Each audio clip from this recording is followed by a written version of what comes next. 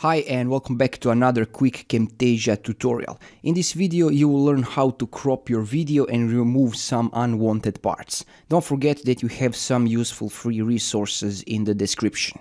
Okay, let's start. To crop your video, go on the top of the canvas where you have three options, edit, pan and crop.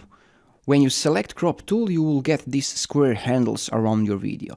Just drag them and move to crop the video. Nice. Now you have your video cropped and moved to the bottom left corner. You can easily crop if you have move tool selected. Just hold alt key on the keyboard and you will get uh, square handles so you can crop video. Unfortunately, Camtasia doesn't support crop with aspect ratios, so you can resize image or video first and then crop out unwanted parts and then resize it back to keep the aspect ratio. Also, you can do this by scaling image or video uh, with this slider in the properties panel and then cutting out unwanted parts but be sure that you don't have any animations on that clip.